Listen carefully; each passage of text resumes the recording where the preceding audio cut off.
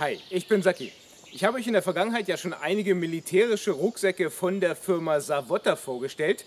Das Daypack Jäger Mini, den Tagesrucksack Jäger 2 und auch den Schwerlastrucksack LJK Modular. Also eigentlich schon für jeden Einsatzbereich das richtige Rucksackmodell.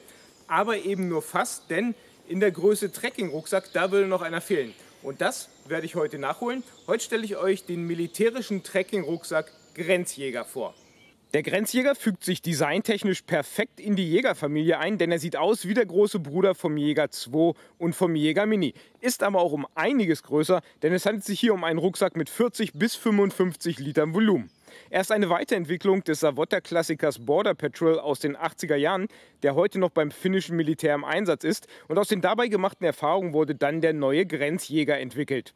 Der Grenzjäger ist kein Leichtgewicht, er bringt 2,38 Kilo auf die Waage, inklusive der integrierten Innenrahmenkonstruktion aus Aluminium, welche zum Tragesystem dieses Arbeitstiers gehört.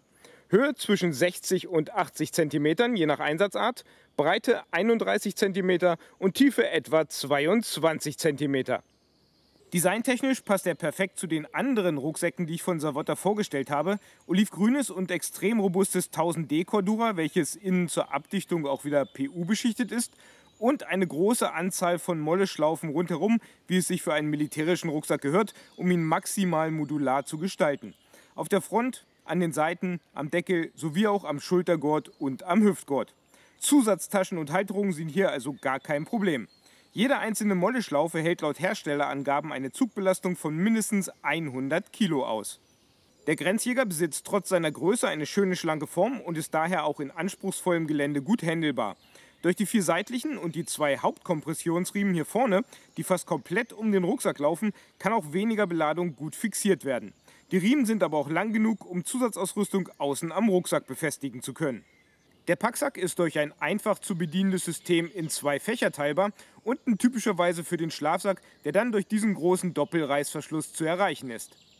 Der große Packsack besitzt oben einen wasserdichten Rollverschluss, welcher den Rucksack auch von 60 auf 80 cm Höhe erweitert, wenn das vonnöten ist. Zusätzlich gibt es auch noch eine Deckeltasche mit innenliegender Reißverschlusstasche. Der Deckel ist höhenverstellbar, was ein Überpacken erleichtert oder um sperrige zusätzliche Ausrüstung zwischen Packsack und Deckel zu transportieren.